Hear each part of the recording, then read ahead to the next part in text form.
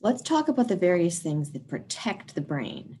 So these are the meninges, the CSF, and the blood-brain barrier are things that I think of as protective. So I kind of gonna teach them together. I've Also got my protection here. So let's start by drawing out the meninges. These should be familiar from learning the spinal cord. So what I'm gonna do is start with the closest layer to the skull, to the brain itself. This is the thinnest layer, which is also called the pia mater. So this is actually a layer that on the brain follows along the convolutions. So that means it follows along the gyri and sulci as it goes. So it kind of dips down into each of these. You will see this in a sheep brain um, as we really clear how thin of a layer it is. That is a very thin, fibrous, continuous with the actual grooves of the brain. Um, it's a very thin, gentle covering. Pia mater. Outside of that, we're going to have the arachnoid mater. That is a little bit of a thicker space, um, more layers. It's kind of got spider-like trabeculae. Um, so that's going to be kind of up here, a little bit thicker and kind of have some spider-like branches in it. That is our arachnoid, arachnoid like spider, right? Arachnophobia, arachnoid mater In this space here, so this subarachnoid space, this is where cerebrospinal fluid is contained. So I'm gonna draw that in kind of a dark blue because it's liquidy. Um, in this subarachnoid space here,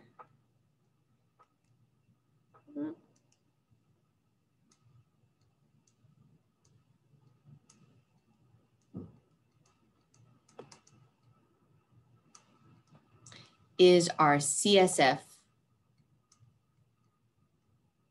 cerebral spinal fluid. Then the last layer of the meninges is going to be the thickest layer, our dura mater. Dura is hard. This is the th really thick outer layer that is actually fairly hard. You will see this in an example in our sheep brain. It's actually really hard to get off. Um, it's not as hard as the skull, which of course is made of bone, but it is pretty darn tough, a physical protection that encloses all of the central nervous system. The blood vessels are underneath there. Um, yeah, so let's look at this on a different image here. It's helpful to draw it out yourself. But here is a view of the brain and spinal cord and really emphasizing that these same sections are located both around the brain and around the spinal cord. The subarachnoid space is a little bit more obvious here with that spider-like um, structure being shown in this image here. Okay, another important structure in for the protection of the brain is the cerebral spinal fluid or CSF. This provides both physical and chemical protection. Um, so I'm going to tell you a little bit about it. We're not going to go into tons of detail. It's produced by ependymal cells as the type of glial cell in certain regions, so in the choroid plexus, which is here and here, that's where it's produced. Um, so CSF is out here. It's different than our blood supply.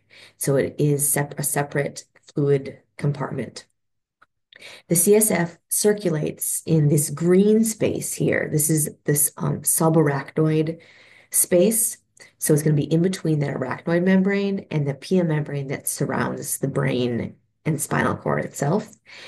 So it is going to circulate in that space all the way around the brain, down the spinal cord, and back up to be circulated.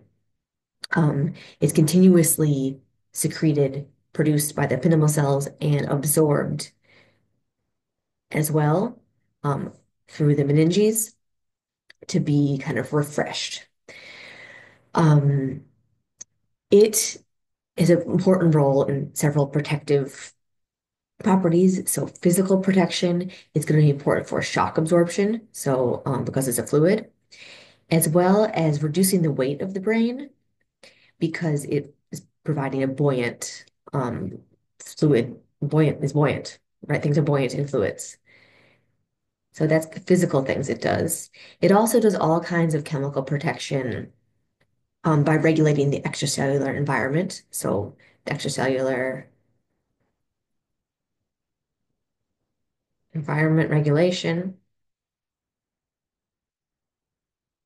Uh, this is going to include um, getting rid of wastes, helping gases diffuse,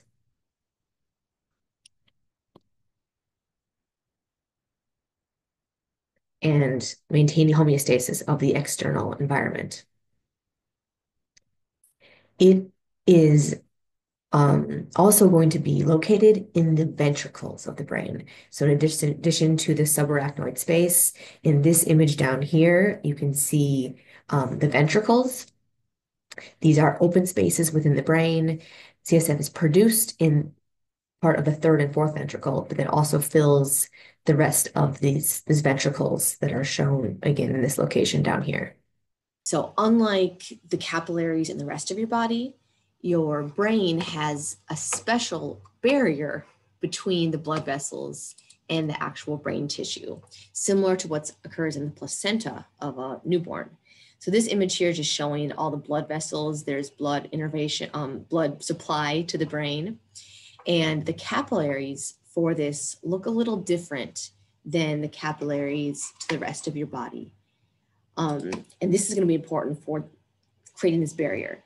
So capillaries actually are branches of blood vessels. So you have a artery here that's going to branch and form these are supposed to be um, branches. The other half, I'm going to draw blue. Why? Because we draw vessels blue once they become deoxygenated. So the blood supply is going this way. And this is our capillary bed. that's going to occur for diffusion to occur of gas of blood and gases out and then in. So the blood-brain barrier is a separate covering that covers the capillaries of the brain to allow for less diffusion and more highly regulated diffusion than would occur that occurs in the rest of your body. So I'm going to show an image of this first, and then I'll draw um, kind of a cross section of this. So this is showing um, two different capillaries. This would be, I'm sorry, this is actually just one capillary here from two different views. This is showing the capillary right here, and it's surrounded by astrocyte foot processes. Here is an astrocyte, which is a neuroglia cell nearby the neurons. And these astrocytes have little feet that go out and um, cover different portions of our neuron, of our blood vessel. These coverings make up the blood brain barrier. The foot processes create tight junctions that prevent stuff from going easily in and out. We don't have that happen as much.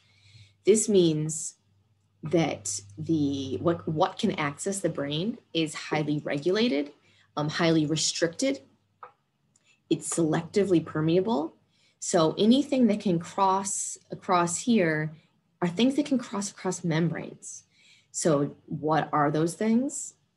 Lipids, fat soluble molecules can actually go into the brain.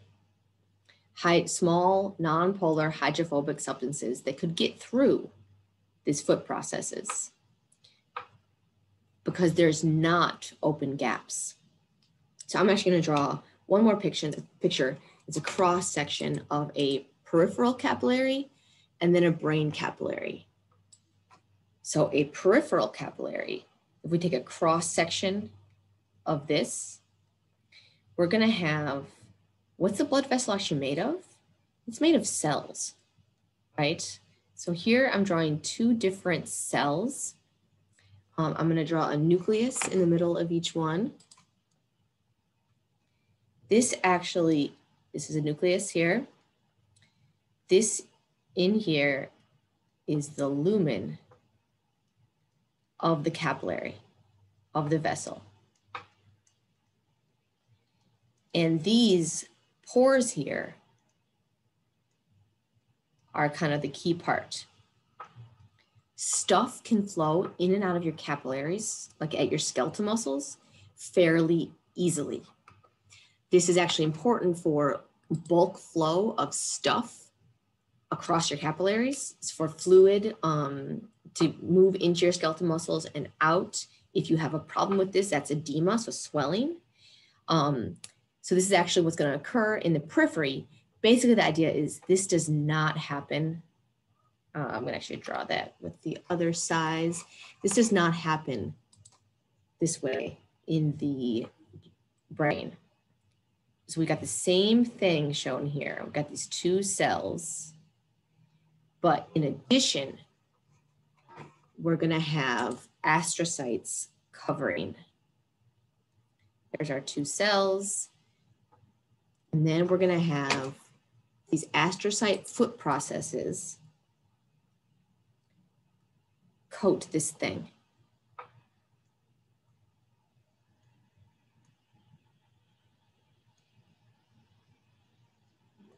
Because of this, there are not these big old pores that we have like we'd have in the periphery.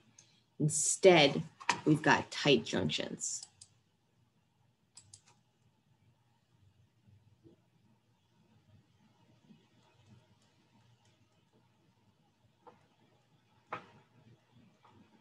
No pores. So we have this barrier. Again, this is going to mean that only things, the only things that can pass through here are going to be things that can pass across the membrane.